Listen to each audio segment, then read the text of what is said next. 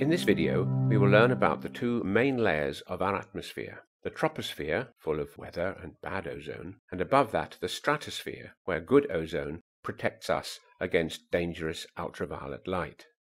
Our atmosphere is made up of gases, mostly nitrogen and oxygen. They are held to the earth by gravity, a sort of ocean of air. Because air is compressible, it gets less and less dense as you get further from the earth. Let's consider the first 50 kilometers where 99% of the atmosphere is found. Visible sunlight passes through the atmosphere and warms the ground, heating up the air at ground level. As the colder air above sinks, it pushes up the warmed air, which is less dense due to expansion. This movement, known as convection current, gives us our weather systems. The atmosphere gets colder and colder till you reach about 10 kilometers, the tropopause, where the temperature is coldest. Below this is the troposphere, containing 80% of our air, and all the weather. Above the tropopause we have the stratosphere. This is a layer of thin air which is hot on top because it's heated from above by ultraviolet radiation absorbed by the good ozone and cold underneath, making it dynamically stable. Contrast this with the turbulent troposphere. If you have ever flown in a jet aeroplane, you may have had a bumpy ride after takeoff through the turbulent troposphere, but once you're above the clouds, above the weather, your journey is smooth. Propeller planes cannot fly this high because the air is too thin for the propeller to grip the air. So where does this good stratospheric ozone come from? Pause the video and think of the formula of ozone. Well, ozone is an allotrope of oxygen. Its molecules are made of three oxygen atoms bonded weakly together. It is an unstable gas which slowly decomposes back to molecular oxygen. The ozone in the stratosphere is continually being made and broken by the ultraviolet light in the ozone-oxygen cycle.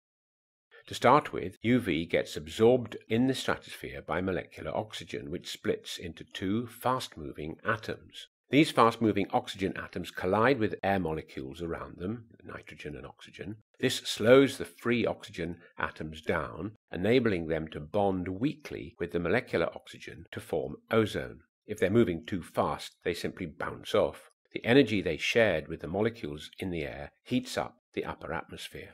The oxygen atom has now joined with an oxygen molecule to form ozone. Ozone is very effective at absorbing ultraviolet light, which causes the ozone to split back into an oxygen atom and an oxygen molecule again, keeping the upper atmosphere warm. Ozone reforms as before once the oxygen atom is moving slowly again. The ozone is spread out through the stratosphere, shown here in black. Why do you think there is so little ozone high up and low down? Remember, we need ultraviolet radiation and oxygen to make ozone. Pause and think. Well, here there is too little oxygen, and here, near the tropopause, the point of lowest temperature where the troposphere and the stratosphere join, there is no ultraviolet light available. It has all been absorbed by the ozone further out. So this is the ozone layer. If the ozone were squashed together like a solid, it would only be the thickness of a sheet of cardboard, but it is actually a gas spread out over 20 or 30 kilometers. Before our atmosphere was filled with oxygen, the UV reached the Earth's surface and prevented life from emerging onto the land. Ozone is also present in the troposphere, formed mainly by the action of sunlight on pollution from motor vehicles. Here it helps to form photochemical smog and is a pollutant.